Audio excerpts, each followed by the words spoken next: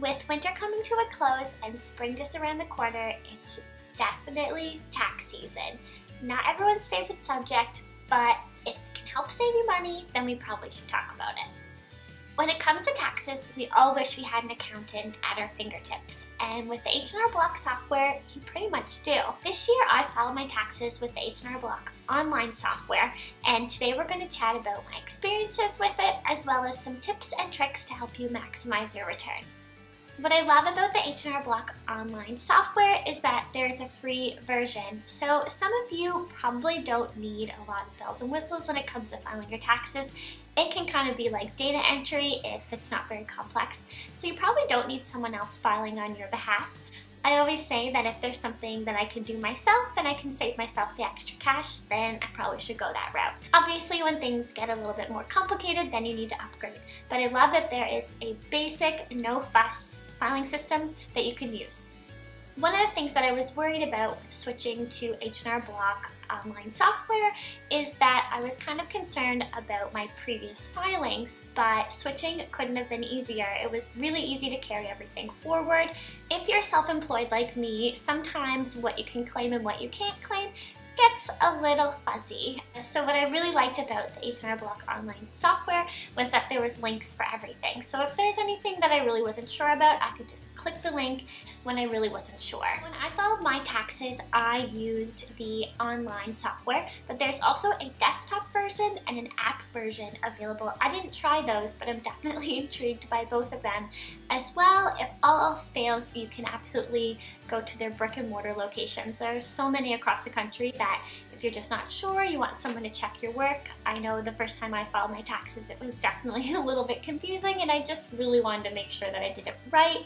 So if that's you, then absolutely pop into one of their brick and mortar locations. So who doesn't want more money in their pockets, right? Let's chat about some ways to maximize your return. And remember when it comes to your taxes that the best thing you can do is make sure you do the prep work and hang on to those receipts because ultimately if you can't prove it, then you can't claim it. If you're living in Canada, you really want to consider investing in an RRSP. Not only are you saving for your retirement, which is very important, but you're also going to help with your tax deduction as well. So anytime you're putting that money aside, you're also helping your taxes. So it's kind of a win-win and definitely encouraged when you're filing your taxes and you want to maximize your return.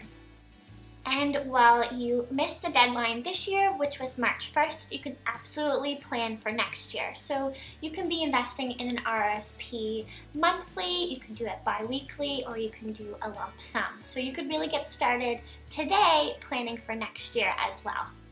When it comes to maximizing your tax return, you want to hang on to those medical receipts.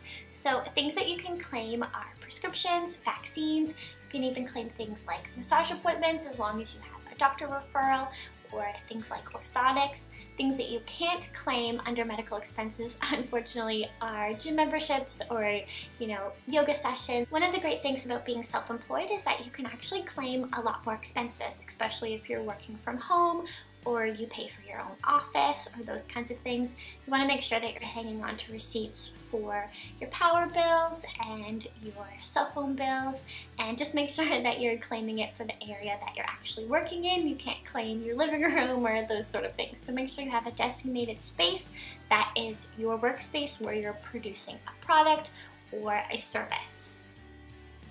If you're self-employed, you can also claim some travel expenses. So say you attended a conference or convention or any of those things that help you learn more about your career or build your career or ensure success or those types of things. You can definitely claim those travel expenses, which is amazing.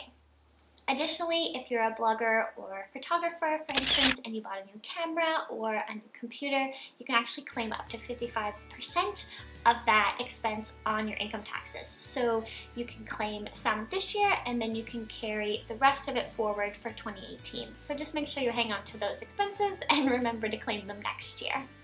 One of the things that you can't claim is outfits or clothing. So unless your clothing is essential to your job, say for instance you're buying scrubs if you're a nurse, um, or likewise if you're a hygienist or those types of things and you're not wearing them in your personal life, then you can claim it. But for the majority of us, we're not able to claim our clothing expenses. Bottom line, when it comes to your taxes, being organized is your best bet. It doesn't need to be a huge thing. It should be something that you're working on all year round. So you wanna make sure that you're documenting and you're keeping all of those receipts all year round so that when it comes to tax season, you're not overwhelmed, you're not worried about doing your taxes because you've been doing all of the work all year. So be prepared and be organized and don't be afraid to start a little bit early. There's quite a bit of a bracket from when you can start and when you have to file them, so starting early is not going to hurt. Hopefully you found this video helpful and you can use some of these tips in filing your taxes and be sure to comment below if you have any questions or comments about the H&R Block software as well as filing your taxes.